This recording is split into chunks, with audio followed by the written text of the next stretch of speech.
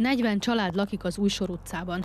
Zömmel, mezőgazdasági termeléssel foglalkoznak.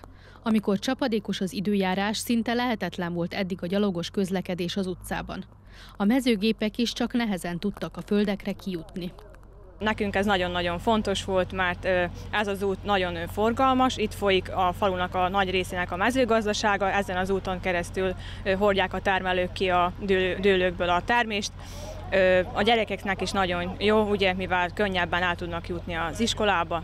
2007-ben elkészült az út alapozása, majd egy pár éve zúzott kőréteget kapott. Most pedig az aszfaltozás van folyamatban. Itt a bizonyítéka annak, hogy mennyire fontos az, hogy a Vajdasági Magyar Szövetség által képviselők ott legyenek a tartományi és a köztársasági szinten, hiszen így akkor mégiscsak a saját érdekeinket tudjuk érvényesíteni. Minden infrastruktúrális beruházás fontos, ami a város területén történik, de ugyanolyan fontos a peremvárosi települések fejlesztése is, jelentette ki Horváth Tímea, Szabadka alpolgármestere.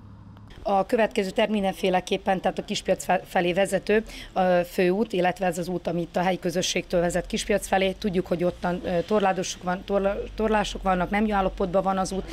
Szeretnénk ennek az útnak a kiszélesítését megvalósítani, és így megkönnyebbíteni a forgalmat a lakosok számára. Több évtizedes adóságot tudtak most teljesíteni, jelentette ki Kern Imre infrastruktúra fejlesztési államtitkár. Próbálkozás az volt sokszor, de most sikerült megoldani a Putevi Szerbia, Szerbia utak közvállalat eszközeiből, hogy leaszfaltozzuk ezt a két és fél kilométeres szakaszt, és azt hiszem, hogy a falunak, a mezőgazdasági termelőknek ez egy nagyon nagy szó, és nagyon fontos dolog, hogy ezt sikerült teljesíteni.